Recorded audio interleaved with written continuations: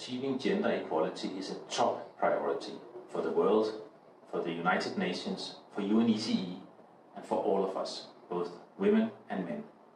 But there's a long way to go before we have achieved it.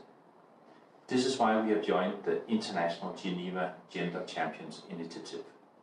And we made three pledges. Develop a UNECE policy on gender equality, update our gender action plan, and further mainstream gender throughout all our activities.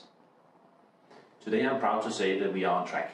We will be fully compliant in September, one year after we made the pledges. So we are ready to do our part in UNECE to create conditions where all women and men enjoy equal rights and equal opportunities.